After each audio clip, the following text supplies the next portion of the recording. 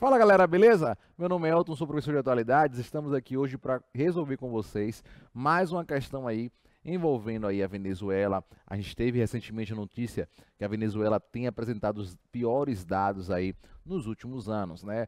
A linha da pobreza da Venezuela tem crescido bastante. Então, ó, na tela para vocês a questão sobre a imigração na Venezuela e para o Brasil. Então, ó, sobre imigração na Venezuela para o Brasil, assinale V para a posição verdadeira, preposição verdadeira, e F para as proposições falsas.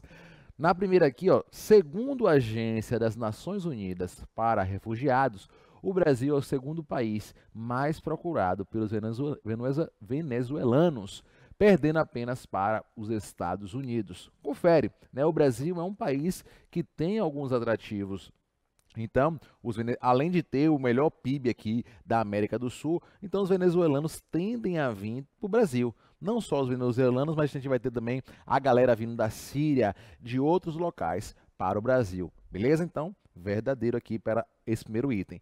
No item seguinte, ó, os governantes de Roraima declararam que havia sobrecarregado os serviços públicos do Estado e que, portanto, não seriam capazes de atender a demanda. Roraima né, fica ali é, uma fronteira próxima ali da Venezuela, então a galera desce em massa para, para, para Roraima. E, e logo Roraima não está tendo mais capacidade aí de atender toda essa galera que vem aí, os refugiados que vêm aí, né, da Venezuela, né, sobrecarregando Roraima, beleza? Verdadeiro. Na questão seguinte, ó, o governo brasileiro não permitiu que o refúgio dos venezuelanos no Brasil e fechou as fronteiras para evitar acesso ao imigrante. Não, isso é falso. Né? A gente vai ter aí uma situação com relação.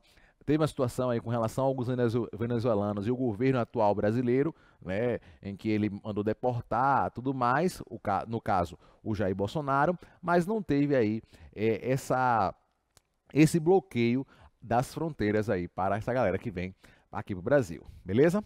Na questão seguinte, vai trazer para a gente, ó, a população venezuelana mostra-se totalmente descontente com o governo atual, o presidente Hugo Chávez, que assumiu o país após a morte de Nicolás Maduro.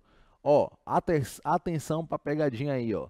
Qual é a pegadinha? O presidente atual é Nicolás Maduro, que, que assumiu após a morte de Hugo Chávez. Está invertido aí a informação. Logo aqui também é falsa. Então, fica o quê? Fica a letra D, o nosso gabarito da nossa questão. VVFF. Beleza, galera? Então, mais uma questão aí de atualidades para vocês relacionada à Venezuela né, e a crise humanitária que a Venezuela vem passando, crise política, Hugo Chávez, é, Hugo Chávez não, o Nicolás Maduro, por mais que não fale aí que é um ditador, está se mostrando aí com posturas ditatoriais lá na Venezuela. E isso o povo está sofrendo muito lá na Venezuela. Beleza, galera? Valeu!